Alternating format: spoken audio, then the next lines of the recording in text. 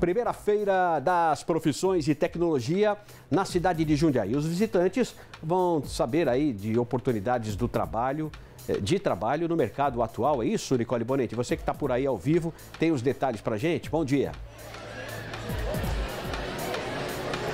Oi, Brasil, bom dia para você e bom dia a todos que acompanham o Primeiro Impacto Regional. Isso mesmo, o evento é uma excelente oportunidade para estudantes, mas também para o público em geral, né? Afinal, nunca é tarde para mudar de profissão, para descobrir uma nova profissão, uma nova área. E é isso que esse evento está buscando trazer: oportunidade de contato dos estudantes ou do público com essas pessoas, esses profissionais, empresas, universidades e, no geral, né? Com essas áreas, com essas profissões. O evento é bem grande, ele está aqui dividido em três pavilhões no Parque da Uva e ele começou ontem e vai até amanhã. Mas quem vai trazer todos os detalhes para a gente desse evento é o Sami Mansur, ele que é assessor especial de cooperação internacional aqui de Jundiaí e também parte da organização desse evento. Sami, bom dia. Conta pra gente então um pouco sobre as atrações desse evento, pessoal, para o pessoal que está em casa entender o que está acontecendo aqui. Claro. É, a, a, feira está ocupando os três pavilhões da, da, do Parque da Uva.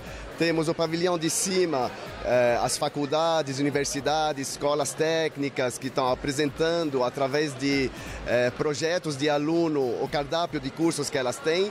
Aqui no pavilhão central temos grandes multinacionais, grandes empresas instaladas em Jundiaí, apresentando as profissões que tem dentro das empresas através de atividades interativas com os alunos. Temos um espaço de startup também para mostrar o lado do empreendedorismo para os alunos. Temos o espaço também da Prefeitura de Jundiaí para mostrar o lado do funcionalismo público também.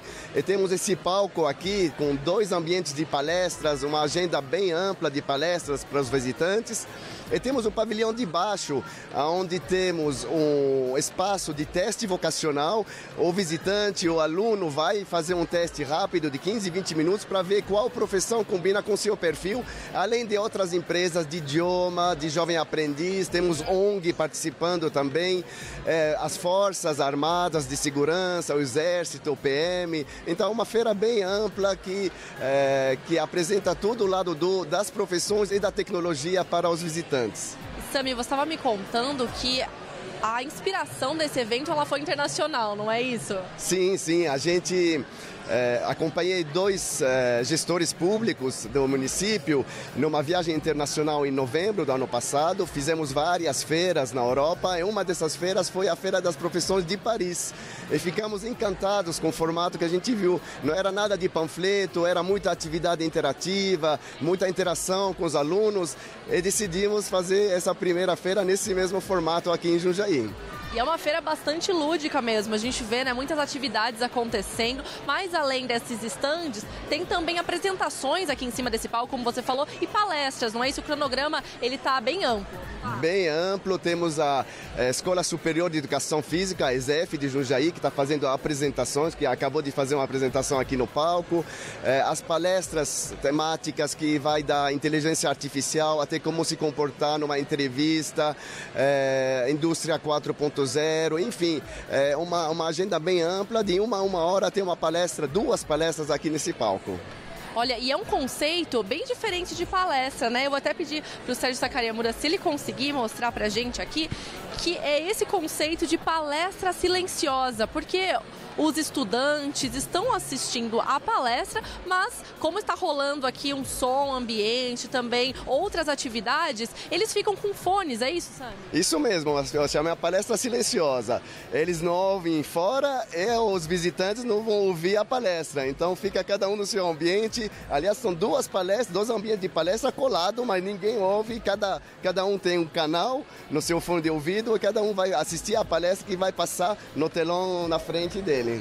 E sabe quem é que pode participar? Nós estamos vendo aqui na maioria é, estudantes, né? Mas qualquer um pode participar? Sim, o, o público-alvo são os estudantes do ensino médio, né? 14, 15, 16, 17 anos. Mas hoje todo mundo pode trocar de profissão em qualquer idade, voltar a estudar com qualquer idade, então o público é bem amplo. Oi, Barazal, estou te ouvindo. Peraí que eu estou voltando aqui para o meu posicionamento. É, Pode falar. Eu estava olhando aqui, mas assim, é bem interessante esse formato é, de palestra.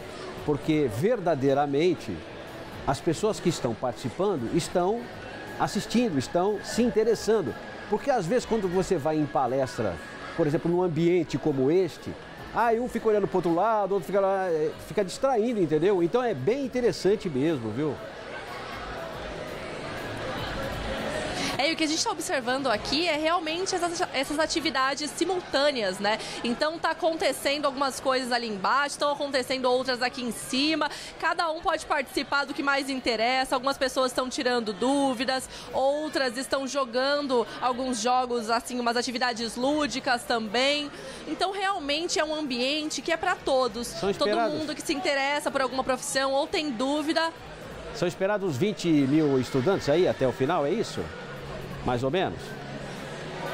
Isso, isso aqui eu vou perguntar para o Sami. Sami, o Brasal está perguntando quantas pessoas são esperadas. Você estava me contando que parece que o público já passou um pouco isso, não é o que você esperava? Já, a gente esperava em torno de 15 mil, 20 mil visitantes. Mas hoje já passou os 10 mil, então acreditamos que nos três dias vamos chegar em 30 mil visitantes na feira. São visitantes da região inteira, não é só de Jundiaí, está tá vindo gente da região inteira do aglomerado urbano de Jundiaí interessante. Muito obrigada. Brasal, é isso. Então, é. vou dar o serviço aqui rapidinho para as pessoas que quiserem vir até o evento, então. Aí acontece aqui no Parque da Uva, o endereço está aparecendo aí na tela, é na Avenida Jundiaí e não tem número. Hoje é até às 10 horas da noite e amanhã a partir das 9 e até às 6 horas da tarde. Ele é gratuito, o estacionamento também é e qualquer um pode participar. O credenciamento está sendo feito, inclusive, aqui no evento mesmo, não precisa fazer antes. Legal, obrigado, viu, Nicole, pelas suas informações. É uma boa oportunidade para quem, por exemplo, quer entrar no mercado de trabalho,